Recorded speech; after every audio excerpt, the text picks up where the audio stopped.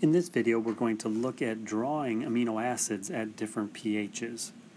And the underlying concept here is that functional groups on amino acids become protonated and deprotonated um, based on the pH of the solution.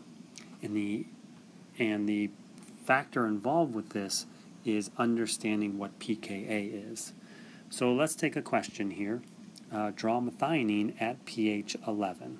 So why don't you take a moment uh, to draw it at pH 11, and then I will go through the um, mental process of how I would have drawn this at pH 11. So when you're finished drawing it at pH 11, come back to the video, and I'll go through the analysis of that.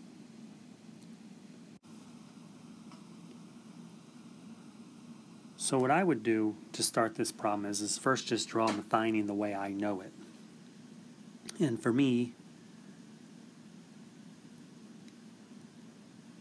I draw it at pH 7 because that's the way I was, I learned all the amino acids. And that's the way most people learn them is by knowing their structure at pH 7. So really what we have here is methionine at pH equal to 7. Now, unfortunately, that's not pH 11, which is what the question is asking, but at least then I get uh, get started with this uh, problem. And so to uh, understand the next part, what I have to do is identify the functional groups on methionine that could possibly change due to changes in pH. And to do that, I need to pull in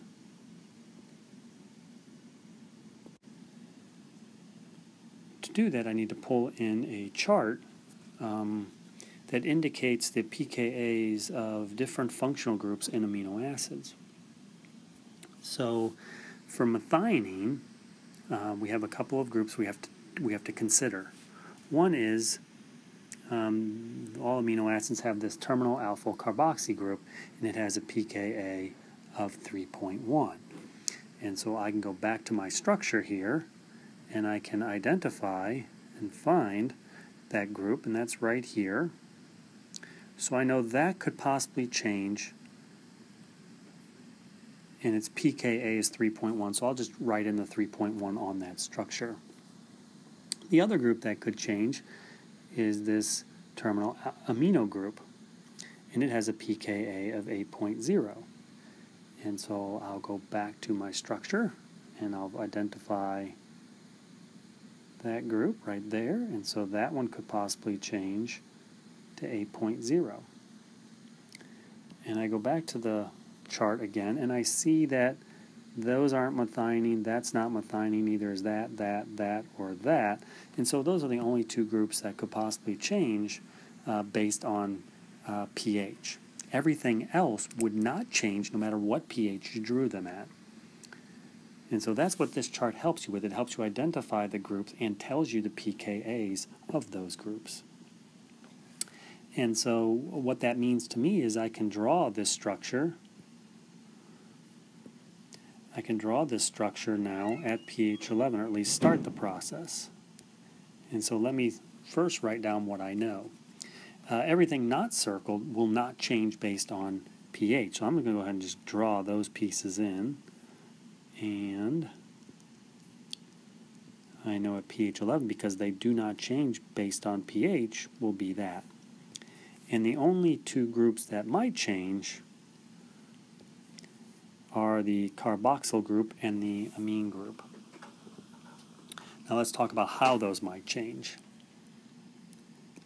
So let's think about the two the two groups and the chart and what you need to know here is um, is that a carboxyl, a carboxyl group uh, will vary between the protonated and deprotonated states. And so on the left is the protonated state because it has the hydrogen, and on the right is the deprotonated state. And so this is protonated. and this is deprotonated.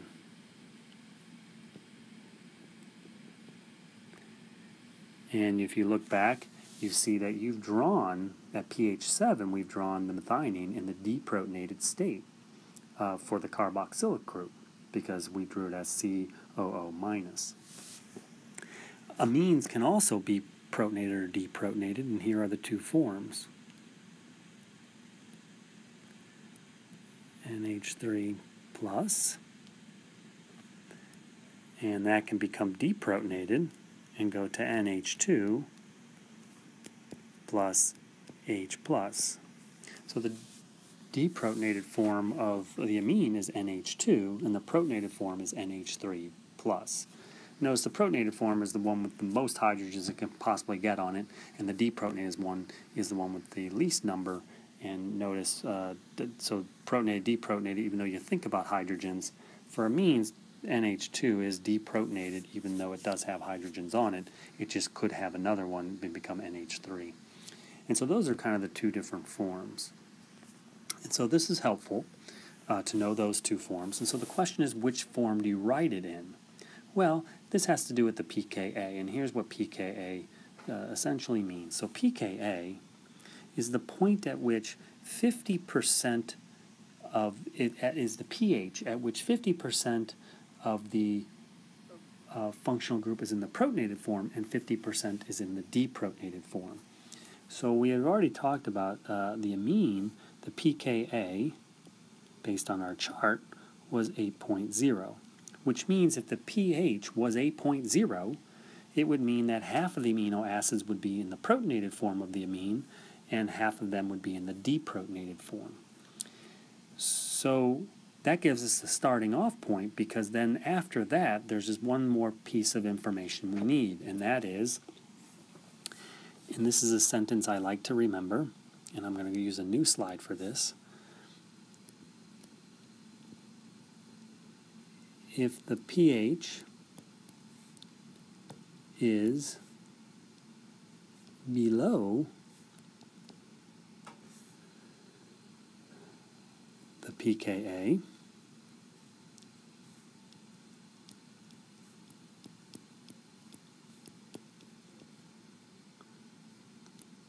protonated. So if the pH is below the pKa, you draw it in the protonated form. And if the opposite is also true, if the pH is above the pKa, it is in the deprotonated form. I just memorized one of the two sentences, and then if the sentence is false, I know it's in the opposite form. Let me put this into action. So for our problem, the pH is 11.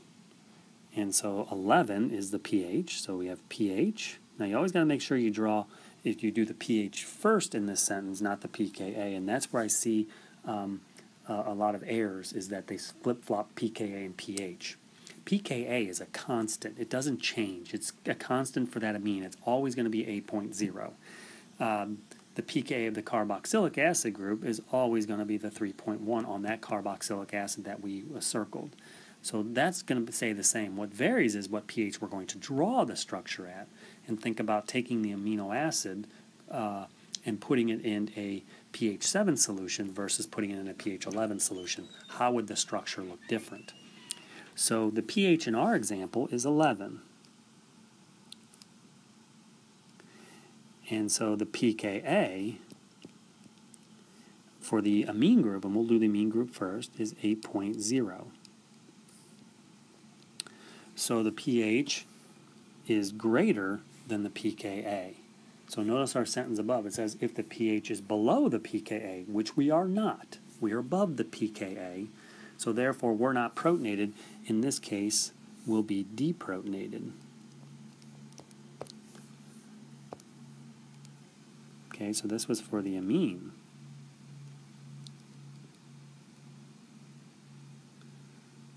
Here. Let me rewrite that. This was for the amine. And then the carboxyl group, the pH, well, we're still at 11, so we're drawing this at pH 11 was our, our initial goal. The, our pKa is 3.1,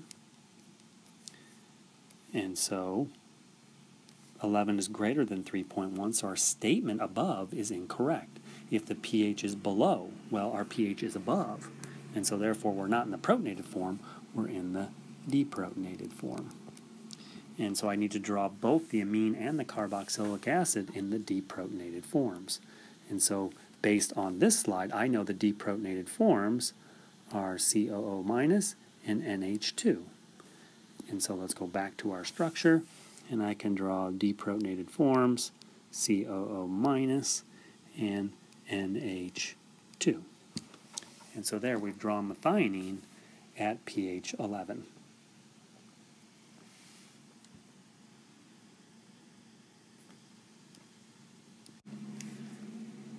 Okay, let's try another one, but you're going to see here that the process that we went through is going to be identical to the first time.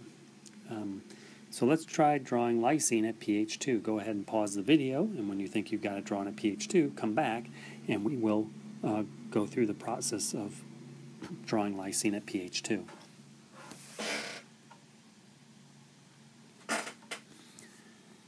Okay, so the way I always start is like I did the last time. I first don't worry about the pH, but just draw it at what I know and what I've known to draw these amino acids at.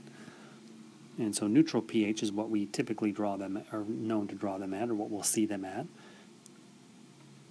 And so I'm going to go ahead and draw it as I know.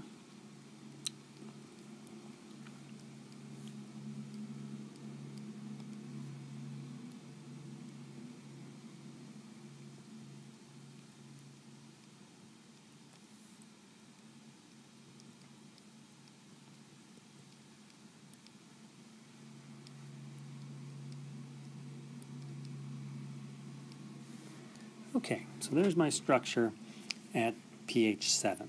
So now what I have to do is like I did the last time, I have to figure out which parts of this amino acid might change based on pH. And so to do that, uh, we need to go to that chart again. So here's our chart. And so we definitely have a terminal carboxyl group. Um, and so that's uh, 3.1. We definitely have the terminal amino group, and that's 8.0. And so we can, like we did last time, I like to identify those so I know that these are the groups that might change. That one's 3.1. This one is 8.0. Okay, and then are there any else? Well, um, aspartic acid and glutamic acid are not what I'm drawing, so I don't have to worry about those. It's not a histidine, so I'm not worried about that cysteine, tyrosine, ooh, lysine, so we have to deal with that, and then arginine I don't have to deal with. So I have to deal with the lysine, and the group on lysine that's in the R group um, has an amine on that R group, and that amine is a little bit different. So notice from this, not all amines are 8.0, but just the one on that's attached to the C alpha carbon on the amino acids, the one that's on every amino acid. But the R groups tend to have different numbers. And if you're dealing with arginine, it has an R group that you have to uh, consider when you're thinking about pH. Same with tyrosine, cysteine, histidine, and the two acids, aspartate and glutamate. But for us, we have to worry about the R group in lysine, and that's 10.8. And it'll be that amine group that'll be the one that'll ionize, just as we know from previous work that the amine group does ionize. And so that's way up here. So that's that guy we have to deal with. So we have those three to deal with. Nothing else on this structure will change based on pH. And so if we start to think about how to draw this at pH equal to 2, I can start to draw part of it. Because I know no matter what pH I draw it at, doesn't matter if it's 2 or 10, um, this part's never going to change. And so these pieces will not change. But the end part on the R group will. So we have three groups we have to deal with. And so now, oh, I didn't put the pKa on this terminal or this uh, R group amine. That was 10.8. Okay, so there's our three groups. We have one at 3.1, one at 8.0 and one at 10.8. So at this point, we've identified the groups that might change based on pH, and so let's go take a look at our statement below. Oops. Remember our statement, this is the part you, it's always never going to change. If the pH is below the pKa, it's protonated. Um, the corollary is also true. If the pH is above the pH, pKa, it's deprotonated. I always just remember one statement. So this is a statement I like to remember.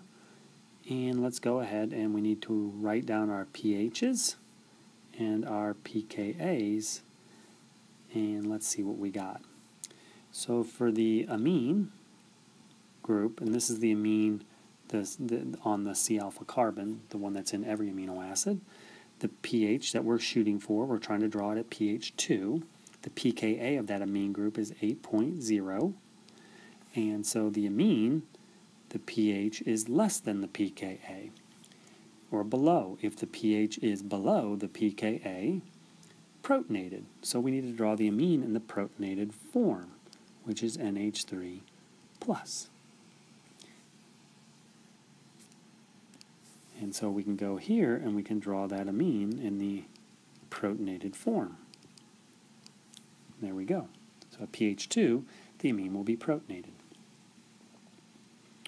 Let's do the carboxylic acid, or the carboxyl group. Again, we're trying to draw it at pH equal to 2. PKa of the carboxylic from the chart is 3.1.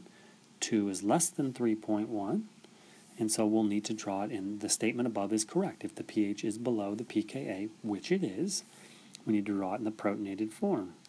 And so the protonated form would be that.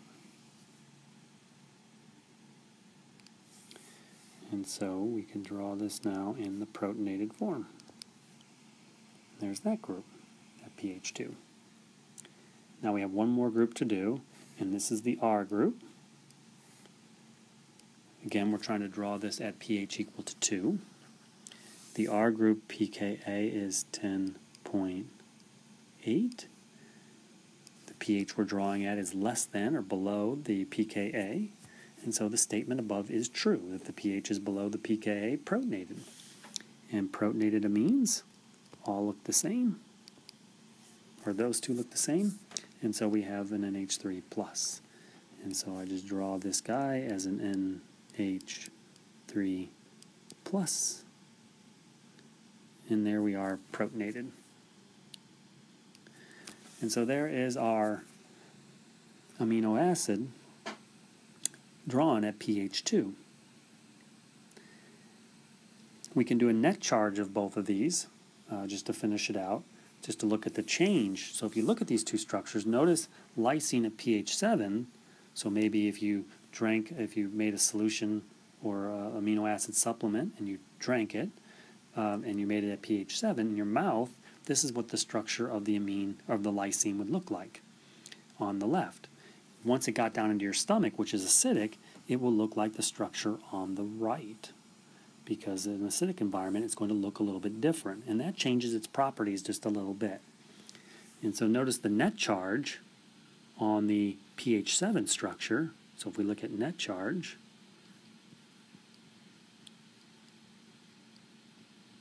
we look at net charge on the left, uh, at pH 7, I have a plus 1, I have another plus 1, so that's plus 2, and then a minus 1, so that's plus 1 plus 2 minus 1. The net charge is plus 1. On the right at pH 2, notice I have a plus 1, another plus 1, that's plus 2, and that's it.